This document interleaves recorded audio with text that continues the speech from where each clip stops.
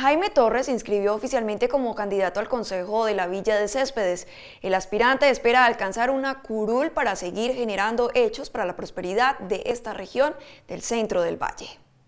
Por el movimiento político ASI se inscribió ante la Registraduría del Estado Civil Jaime Torres como candidato al Consejo de Tuluá.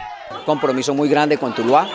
Esperamos poder eh, contar con la bendición del Todopoderoso, con el apoyo del colectivo Somos Tuluá y con el apoyo de la comunidad en Tuluá para poder llegar a, ocupar esa curul en el Consejo Municipal de Tuluá.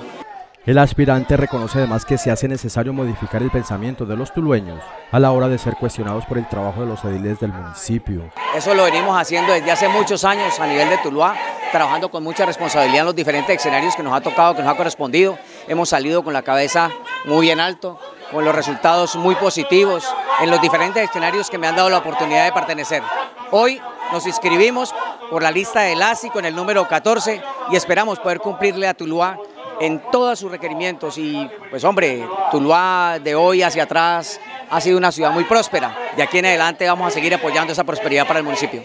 Jaime Torres confía en el apoyo de la ciudadanía y de su movimiento político Todos Somos Tuluá.